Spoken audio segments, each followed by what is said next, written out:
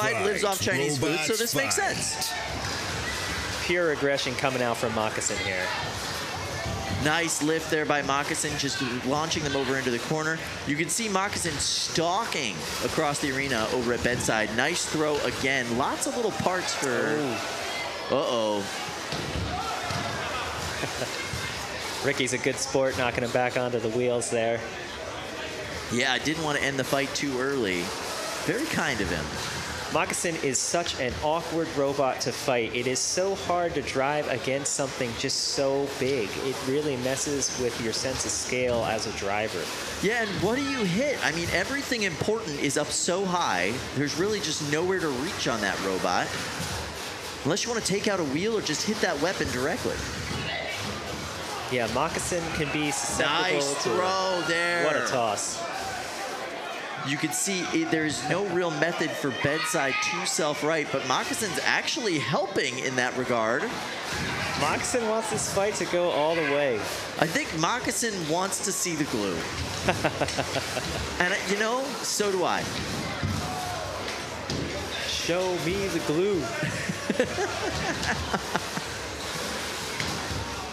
now the glue is like neon green, right? Yes. Yeah, so we will see it. Pieces are falling off of something. Looks like wheels, actually, like chunks of the wheels. Hmm. Doing a little dance. Nice slam from Bed Side Ooh. into the corner and a pin. And those nice manners for Moccasin maybe coming back to haunt them here. You are allowed to hold a pin for up to 10 seconds before you have to release it. And it does appear as though there's, oh, nope, that was something important. I believe it is one of the forks off of Bed Side just came Oh, off. And what a a nice toss. flip again onto Bed Side. Ah, another flip.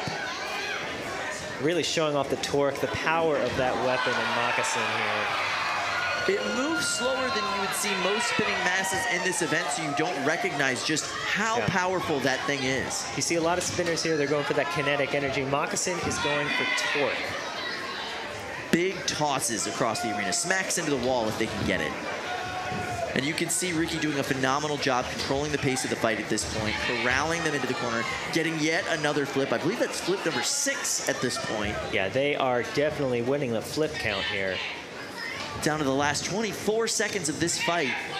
All this control, this time upside down, is really going to hurt Bed Side if this goes to the judges. And it looks like we are going to go to the judges. I don't know if we'll be able to get a count out within the next 12 seconds.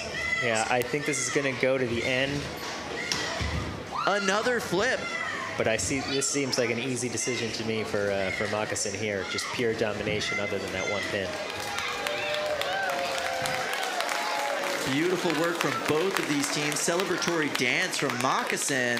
Anyone with eyes probably already guessed this, but uh, I can tell you that uh, you have won that last fight, uh, which was, you know, I would say a squash match, Ricky. It, uh, yeah, I mean, it's kind of a booger robot, and I think it got kind of squeezed and flattened and crumpled up. And no, it was, I, I really like that robot.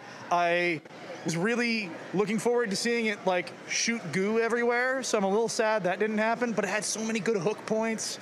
Uh, it was a fun thing to kick around.